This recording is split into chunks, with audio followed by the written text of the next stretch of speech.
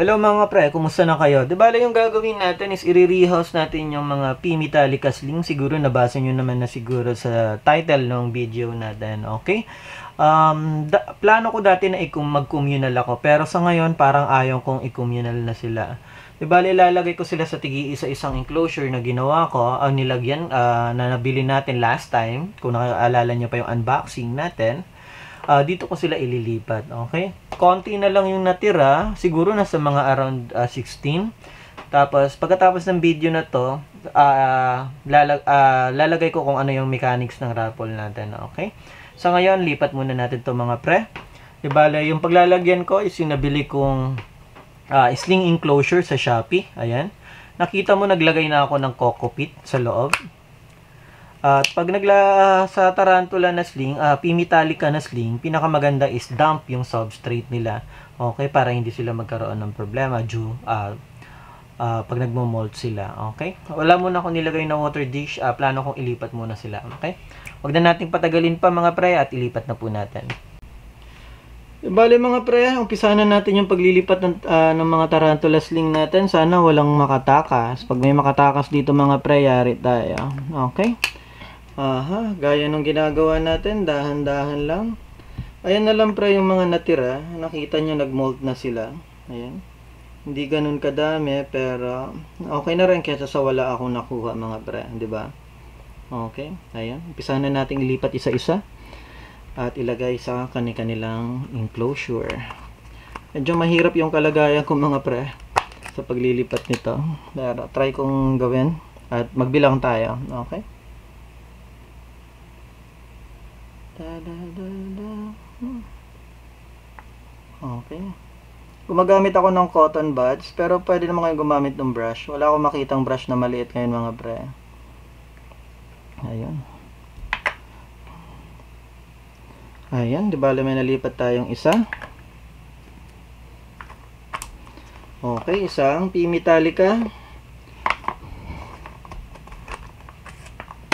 Hindi pa sila ganun pre kabilis gumalaw pre kaya kaya pa natin to.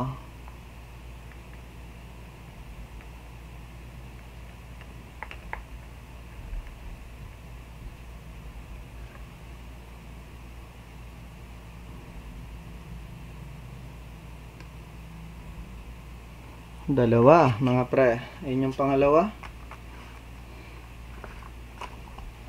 Yung maganda dito ngayon sa pagre-rehouse natin mga pre, hindi sila nag nagpapanik magtakbuhan.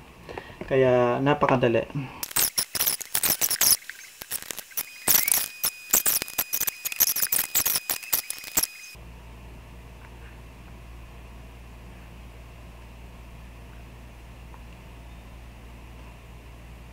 Lumabas ka na. Ayun. Ayun, kumapit din. Mas maganda kung maglalagay kayo dito mga pre, meron na silang ano, mamaya maghahanap ako ng pwede kong ilagay na parang cork bark. Uh, pinaka uh, kasi 'di ba, alam naman natin na yung P Metallica natin ay isang arboreal. Ayun, 'di ba, isa na lang, kulang ako. Bale may 1 2 3 4 5 6 7 8 9. May 9 tayong tigi-isa. Tapos meron pa ako nakikita ditong up, lima. Tapos yung tatlong natitira mga pre, mga bulb mold mga pre. Isa-isahin ko silang ilipat dito mga pre. Tingnan natin. Siguro try nga natin yung communal. Parang gusto ko maging communal daw. Pag nakahanap ako ng ibang lagayan, lalagay ko sila isa-isa doon. Bale dalawa.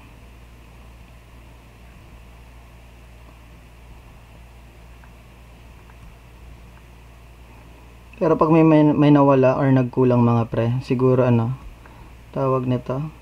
Di ako mag-aato bilang paghiwa-hiwalayin sila.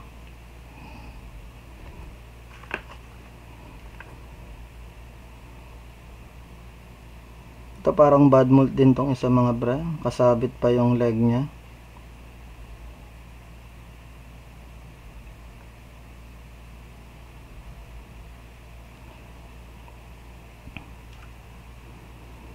Hindi talaga tayo sinerte ngayon mga pre sa mga breeding mga pre.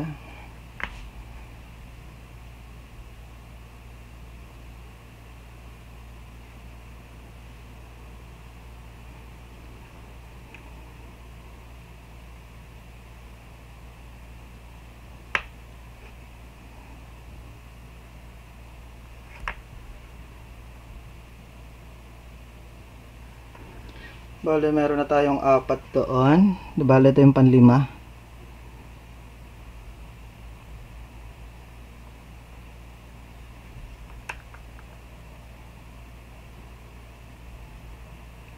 Okay. Bale, ito yung para magiging communal natin. Mamaya lalagyan natin ng cork bark dyan dun sa loob. Takpan na natin, baka tumakas pa. Ayun, di bale, lahat-lahat, yung mga possible na healthy, 1, 2, 3, 4, 5, 6, 7, 8, 9, plus yung 5,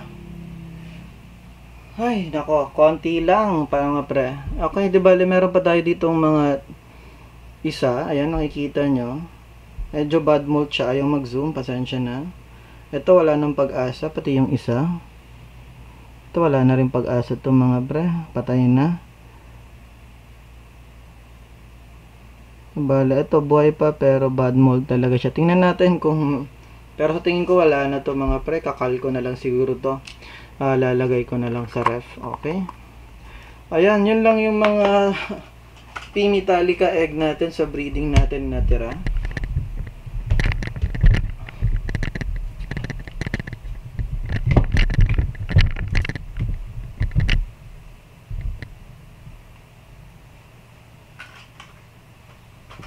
Ayan mga pre, uh, ito lang yung uh, Pimitalica natin na natira. Okay.